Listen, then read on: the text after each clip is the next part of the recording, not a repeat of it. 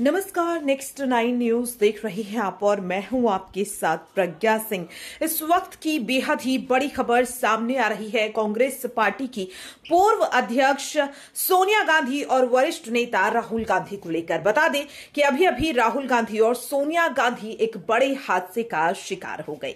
मिले जानकारी के मुताबिक सोनिया गांधी और राहुल गांधी की फ़्लाइट भोपाल के राजा भोज एयरपोर्ट पर इमरजेंसी लैंड कराई गई। मिली मिली जानकारी के मुताबिक विमान में तकनीकी खराबी होने के चलते आपको बता दें कि एयरपोर्ट पर राहुल गांधी और सोनिया गांधी की फ़्लाइट की इमरजेंसी लैंडिंग हुई। राहुल सोनिया इस फ़्लाइट से बेंगलुरु से दिल्ली जा रही थी।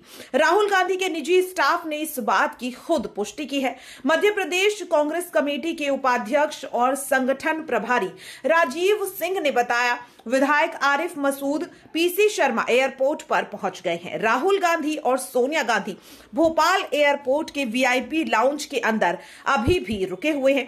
कांग्रेस नेताओं से मिली जानकारी के मुताबिक अब राहुल गांधी और सोनिया गांधी साढ़े नौ बजे इंडिगो की फ़्लाइट से दिल्ली जाने के लिए निकल चुके हैं। सूचना मिलते ही भोपाल के और भी कांग्रेस नेता एयरपोर्ट पहुँच रहे हैं। लगातार आपको बता दें कि जैसे ही ये जानकारी सामने आई, कांग्रेस पार्टी के बीच हड़कंप मच गया।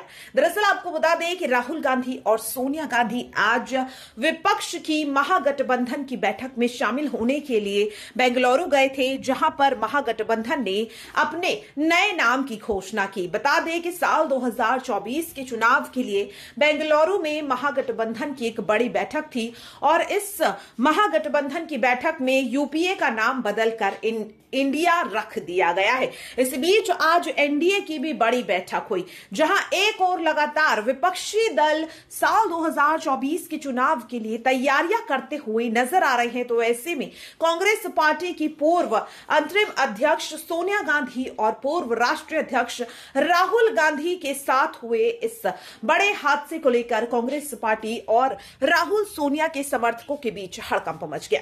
हालाँकि आपको बता दें कि कोई भी बड़ी दुर्घटना होती, इससे पहले ही समय रहते फ़्लाइट की इमरजेंसी लैंडिंग करा दी गई। आपको बता दें कि राहुल गांधी और सोनिया गांधी इस वक्त पूरी तरह से ठीक है और अब वो दिल्ली के लिए रवाना हो चुके हैं।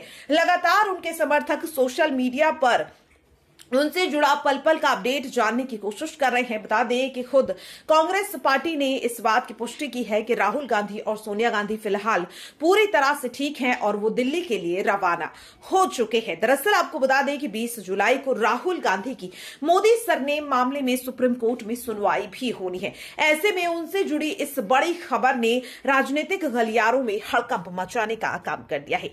नेक्स्ट नाइन न्यूज़ की ओर से ये खास रिपोर्ट।